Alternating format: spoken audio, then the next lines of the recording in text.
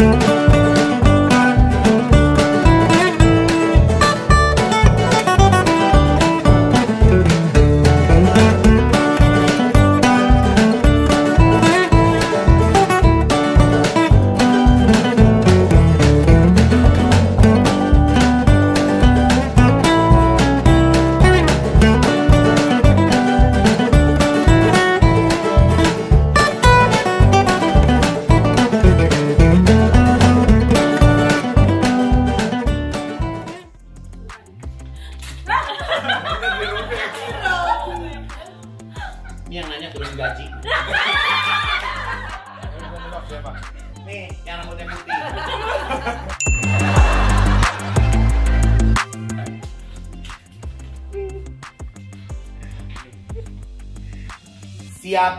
siapa karyawan yang paling disayang dan yang paling nyebelin? Sebutin nama dan kenapa. Siapa nih nanya? Geli. Pengen banget. Gue gak pengen disebut nama. Siapa karyawan yang paling disayang dan siapa karyawan yang paling nyebelin? Gue itu nggak pernah, gue tuh ya orangnya ya, nggak ada di sekitar gue yang gue anggap paling. Enggak, karena maksud gue setiap karyawan itu punya permasalahannya masing-masing. Setiap karyawan itu punya kebutuhannya masing-masing. Setiap karyawan itu gue punya ikatan yang berbeda satu sama lain. Jadi dari puluhan karyawan yang gue punya, nggak ada yang gue sayang. Semuanya sama. Kenapa? Karena apa ya? Maksud gue, gue nggak ada yang gue sayang. Oh, satu orang yang gue sayang nggak ada. Sama aja. Karyawan kalau ada Sabtu Minggu, semua tahu nggak? Kabur masing-masing. Kabur.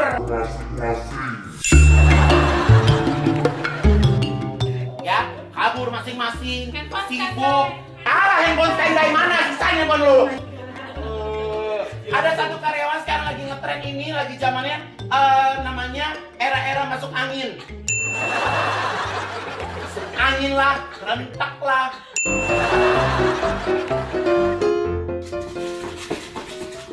Banyak kali ya. Lu dua ya, Mbak? Apaan sih? Apaan sih? Apa lagi? Apa lagi? Apa khasiatnya selalu berstamina?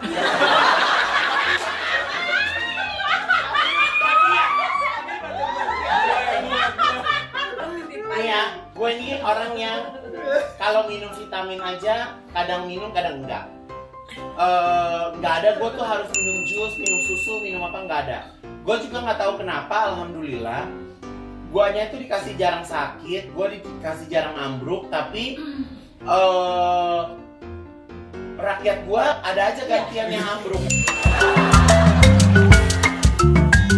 Nah, karena gue itu kan namanya bos itu kan tugasnya merintah, ya kan. Jadi gue tuh ingat merintah, ingat merintah, ingat merintah. Mungkin pegawai gue malah yang lebih capek karena sering gue perintah. Tapi karakter kepemimpinan gue adalah walaupun gue merintah, tapi gue tungguin. Gue kawal. Kenapa? Karena yang namanya manusia itu sering yang namanya human. Udah diomongin sekali, dua kali, tiga kali masih aja suka error. Jadi makanya gue tuh semua gue turun langsung. Gue sehari bisa ngurusin misgrant, gue sehari bisa ngurusin PY, sehari bisa ngurusin kopi, sehari bisa ngurusin butik, sehari tuh bisa ngurusin siapa lah yang mau gue urusin gitu ya. Semua udah ada ada bagian-bagiannya. Jadi kalau misalnya gue pas keinget apa, ya itu gue langsung spontan. Gitu. Jadi nggak ada gue minum jamu, nggak ada gue minum obat, nggak ada gue minum apa. Intinya adalah happy, ikhlas, nikmatin hidup. Ya. Oh my god, ini tulisannya jelong banget. Ih, Ini apaan sih? Ini dari Gazi. Oh, ditulis nama. Barista. Kapan brewoknya dicukur?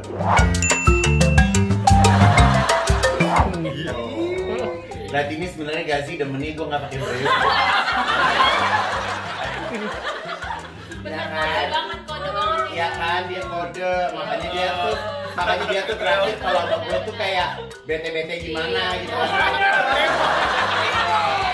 Dia bilang gini, kok itu perempuan pakai brewok? kasih tahu ya sayang ya, kenapa aku pakai brewok? Sebenarnya brewok ini part of shading. Ini bisa efek-efek menguruskan gitu. Sebenarnya kemarin sempat nggak pakai brewok juga, tapi muka gue kayak full moon. Ya.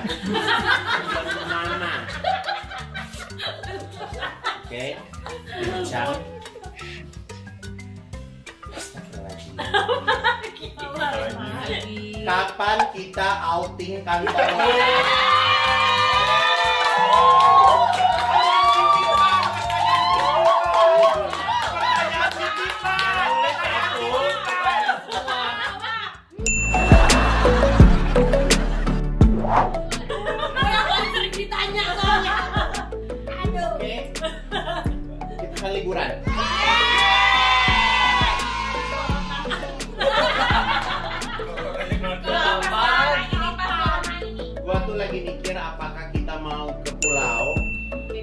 ya kayak dulu ke pulau seru rame-rame atau kita ke Bali. Ya. Balik. ya tapi lu jangan halu ya. Iya lu kelarin aja dulu corona ya.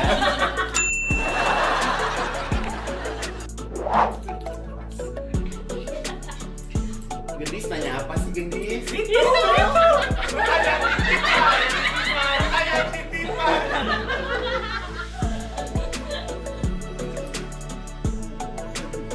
Hal gila apa yang pernah dilakukan? Gila apa nih di maksud lu apa? Memangnya siapa yang Bukan. Coba nih. Itu Jess. Ngaku. berani berani aku. Anak baru.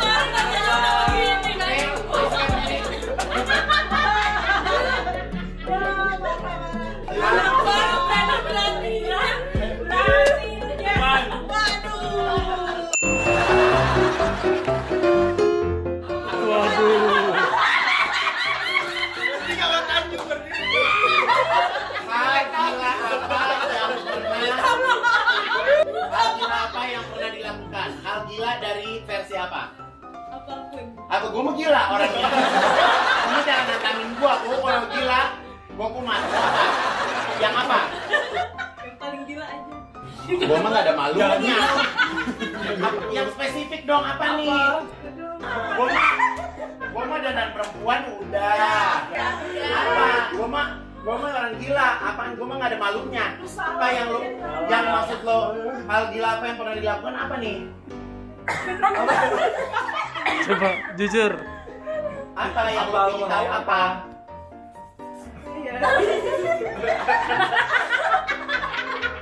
Lucu ya. Oke, mohon maaf ini susah dijawab dan saya juga nggak mengerti. Dia punya kata majalah udah. Ini apaan sih? Ini ngapain sih Dev? Lu nanya lagi. lagi. Lu lagi? Iya dua kenapa? Kapan kamu cepat kurusin badan supaya makin direbutin cewek-cewek?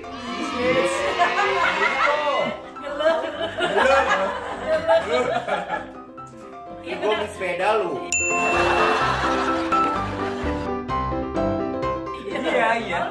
Karena gue beli sepeda harga 40 juta, ntar bulan ini gue potong 40 juta bagi rata ya. Istilahnya lo. Oke, enggak.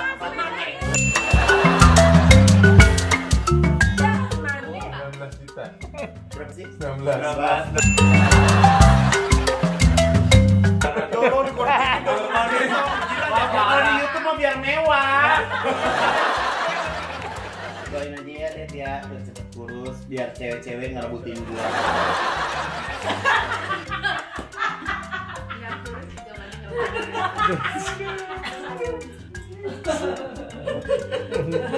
Satu nih. Apa yang kamu, apa yang paling kamu inginkan dalam hidup kamu? In personal life, are you happy? Oke, apa yang paling kamu inginkan dalam hidup kamu? Aku tuh dari kecil yang pak aku pikirin adalah eh, aku ingin menjadi bintang. Itu yang dari kecil.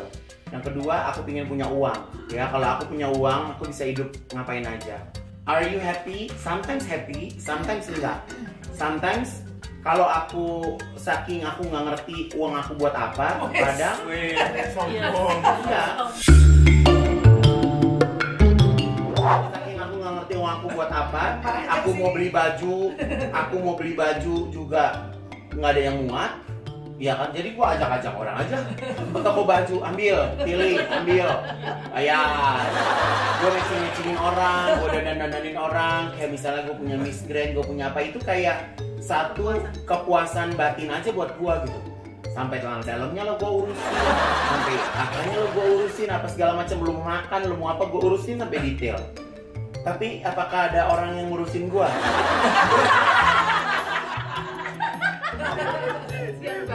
Are you happy? Eh, hari ini gue lagi happy, hari ini gue happy. Tapi gue kadang suka, eh, terkadang gue jujur, gue juga suka menemukan yang namanya titik kayak lagi down. Ya, kayak misalnya gini, lagi kayaknya enak aja bawaannya kayak males aja gitu. Tapi kalau gue sih sebenarnya kayak gitu gue lawan. Kalau misalnya gue nggak suka sesuatu ya gue omongin. Kayak tadi pagi nih contohnya, gue nanya sama Mbak Medi, Mbak tanyain sama orang ini AC berapa harganya? Ya kata Medi sekian. Oh ya udah oke beli dua kata gua. Nah gue pikir harganya masuk. Pas udah gitu udah selang seminggu dia baru ngabarin lagi ternyata harganya nggak sekian harganya sekian dua kali lipat. Marah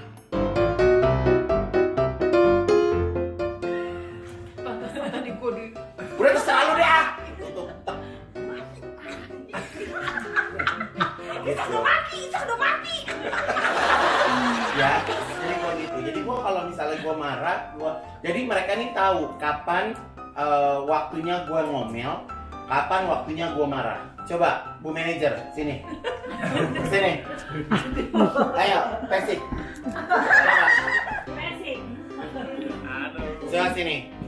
Ini vlog loh ini mahal loh harganya loh. Oke. Lo bisa bedain kapan gua marah kapan gua ngomel. Coba bedanya gimana? Kalau ngomel ya hampir tiap hari pasti ngomel ada. Kalau marah, marah ya marah gitu. Misalnya ada sesuatu yang disuruh terus nggak sesuai rencana, nggak sesuai plannya itu pasti marah. Terus kalau misalnya eh, kalau marah itu lebih ke eh, apa ya? Nggak teriak-teriak malahan lebih bahasanya lebih kalem tapi nancep tapi nancep Ya. gitu Gue tuh ya, gue kasih tahu ya buat follower semua ya. Gue tuh paling utama adalah gue ngajarin pegawai gue yang pertama tuh bersyukur. Ya, gue mah alhamdulillah nih gue bukan sombong ya. Gue mau pokoknya gue insya Allah eh, Allah mah selalu ngasih gue hal yang sama. Gue 15 tahun mau masuk ke 16 tahun gue kerja, gue kagak pernah yang namanya terat bayar gaji. Ya, sama sekali gue kagak pernah. Jadi mau gue nggak punya duit atau gue lagi banyak duit, pokoknya yang gue utamain adalah pegawai gue ya jadi itu yang kunci utama. Karena maksud gue adalah kayak kemarin kita mempertahankan gimana caranya corona itu tetap jalan eh, kita tetap berproduksi. Gimana caranya gue tidak mengurangi pegawai tapi gue malah merekrut orang buat jadi pegawai gue jadi maksud gue ini mungkin tipsnya ya kalau di era corona ini kalau kita hanya menabung mempertahankan saldo yang ada tanpa ada yang diputerin menurut gua mah itu nggak memancing uang itu untuk masuk lagi gitu. Jadi eh, kayak ya udah lu akan jadi spend terus gitu tapi nggak nggak ada yang yang comeback gitu sih.